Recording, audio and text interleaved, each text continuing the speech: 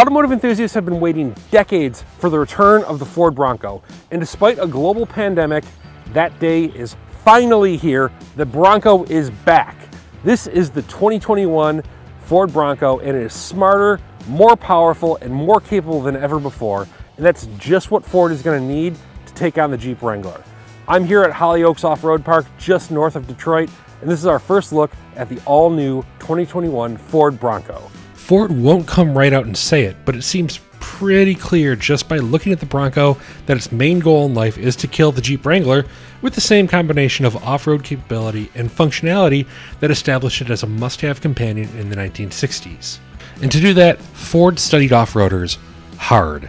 It looked for so called pain points among owners, inconveniences, or undesirable situations that, for one reason or another, vehicles forced on their owners and like a veteran boxer targeting a rival's weakness, engineers and designers beat these pain points to a pulp to not only make the reborn Bronco capable, but to make accessing that capability convenient. Ford will offer the Bronco with a choice of two engines. The volume engine will likely be a turbocharged 2.3 liter four cylinder, while customers will also be able to snag certain trims with a twin turbocharged 2.7 liter V6. But here's the rub the 2.3 liter is the only way to get a manual transmission, in this case, a Getrag sourced 7 speed manual with a crawler gear. Both engines, though, will be available with Ford's excellent 10 speed automatic as an option. Going with a 4 pot to get the manual transmission is hardly a sacrifice, though. It produces an estimated 270 horsepower and 310 pound feet of torque to the V6's 310 horsepower and 400 pound feet. And if that's not enough, the rumor mill is running rampant with reports of more powerful Broncos on the way. But the Bronco isn't just a model, it's a family now, and that includes the Bronco Sport, a new compact crossover that shares its modular front wheel drive platform with the Ford Escape. Ford says that while the Bronco Sport is capable, customers will rely on its abilities to get to a destination. In the Bronco, though, getting there via any terrain is the point. So it's offering both two and four door models with two four wheel drive options.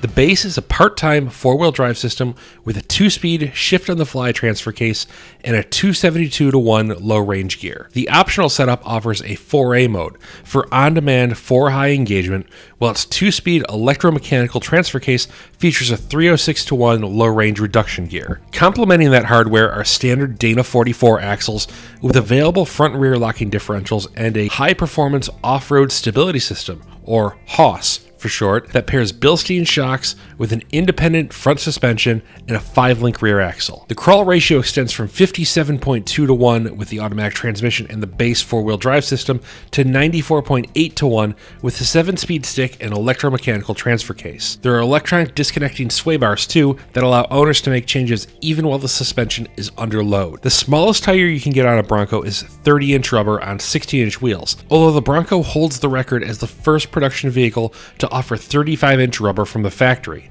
Paired with a 17 inch beadlock capable wheel, these massive tires are available on every Bronco trim via the optional Sasquatch package. Yes, that name is great. It also adds front and rear locking differentials and the HOSS suspension. Ford took a novel approach to the Bronco's exterior design, borrowing Ford design chief Moray Callum's personal 1966 Ford Bronco and scanning it down to the thousandth of a millimeter before setting to work on the new model. The data from that process was a key instrument in crafting a modern Bronco that closely adhered to the overall design of the original. This is a remarkably handsome off roader that perfectly captures the character of the original in a modern way. Single piece taillights, round headlights, a square grille, and even little bits at the corner of the hood all harken back to the original. But those lights are more powerful. Tips at the corner of the hood double as tie down straps, and all three grille designs are much more expressive than the original. Frameless doors inspired by the original Bronco's open air character are also easier to remove and stow than a conventional design, while hiding the attachment points from view results in a profile that's far cleaner than you'd find on a Wrangler. It'd be one thing if the Bronco's cabin were just a masterclass in modular design, but Ford added some really attractive elements. The seats look great and are even available in a marine grade upholstery that shrugs off water. The so called hero switches that sit atop the dash and control the differentials and other vital functions are a single piece of rubber and are therefore waterproof. There's an accessory rail that runs almost the width of the top of the dash that can hold a phone, a navigation unit, or cameras, and there's a power source there to prevent cables from cluttering up the cabin. Grab handles on the center console and end of the dash blend neatly with the overall design, while an available 12 inch touchscreen running Ford's latest Sync 4 software is an attractive centerpiece. Ford addressed many of the pain points experienced by customers with a modular approach to the Bronco. Not only can owners remove the frameless doors and roof, just like they can on a Jeep, they can pull the wheel arches off, remove the end caps of the front and rear bumper, ditch the front grille, and even yank off the fenders with just a few minutes of work. The doors even stow in the trunk, so there's no need to abandon them at the trailhead or in your garage.